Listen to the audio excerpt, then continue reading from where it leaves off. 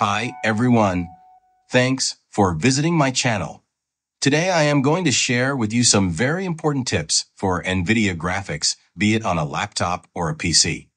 After using the NVIDIA graphics on the Asus ROG G14 for three months, I noticed four important things as a user in order to get the most out of this expensive chipset. Let's get started.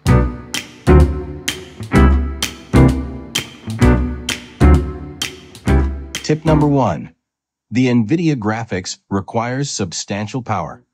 Using the power delivery from the CalDigit Thunderbolt dock or the Apple's 96 watts charger on the ROG G14 is not sufficient to run the unit in turbo mode. If you are using ROG laptops, you should be familiar with the Asus Armoury Crate app. This app supplied by Asus shows the state of the processors, including the graphic processors.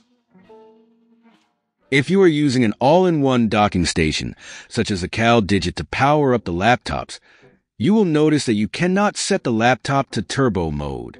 Performance mode is one mode lower than the turbo mode. Without using the 180W proprietary port, the maximum that the laptop can be set is performance mode. This mode cannot drive the NVIDIA chipset to the fullest capability. In the video, you can see that the turbo mode is only selectable when the 180 watts is plugged in. By removing the 180W adapter, the unit is powered by the USB-C or Thunderbolt. The Thunderbolt 4 standard's maximum power delivery is 100 watts. Most higher power docks supply around 90 to 100 watts. The Apple's adapter supplied with the MacBook Pro is rated 96 watts. The CalDigit Thunderbolt power delivery is rated at 98 watts. Both do not supply adequate power to the laptop to cope with graphics intensive operations. Also, please note that plugging in the 180 watts does not automatically choose turbo mode if the last setting is not in turbo mode. So to get the most of the GPU, ensure that the turbo is being clicked and selected as indicated by the white underline below the mode. Why is this so important?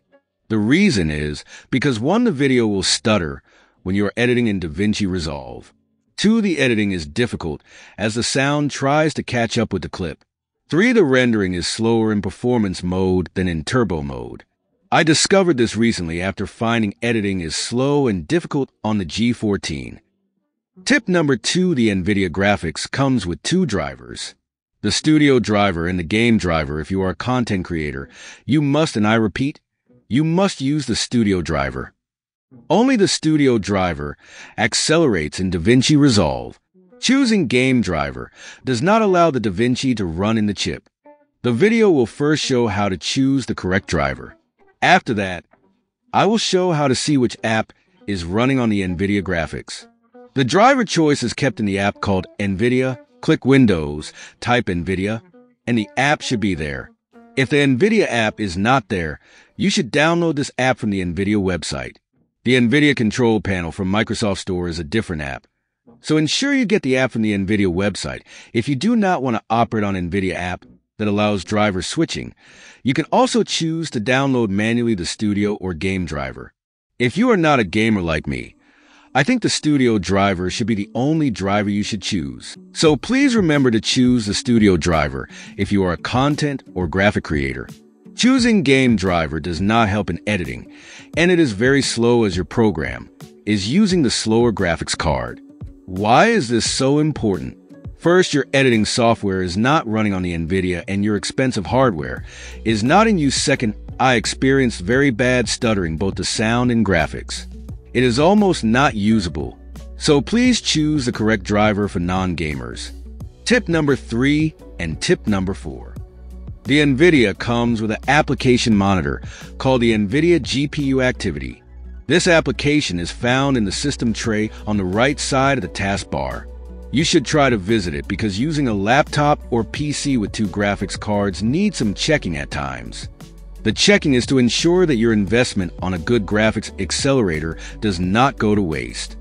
Look for this icon from the system tray and start the application. On this application, there are two sections.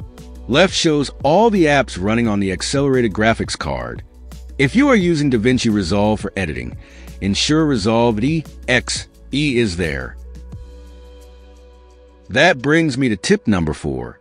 On the right side of the application shows the use of GPU for attached monitors.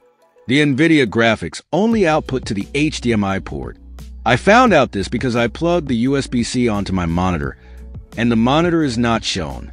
If you are not a gamer, you probably do not need the GPU to run the monitor in high frame rate or higher than 60 Hz.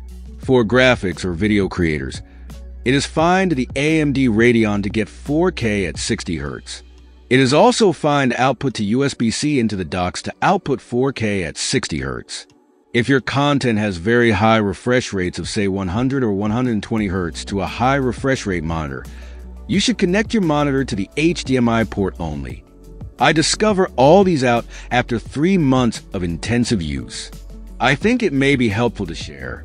If you own NVIDIA graphics, you may like to take the full advantage. Please ensure a correct driver is selected for download or it may cause problems. Having no display can be an annoying problem to fix. Please consider to like, subscribe, and share the video. Thanks for watching, and I wish you a good day or evening ahead. Enjoy the power of NVIDIA acceleration.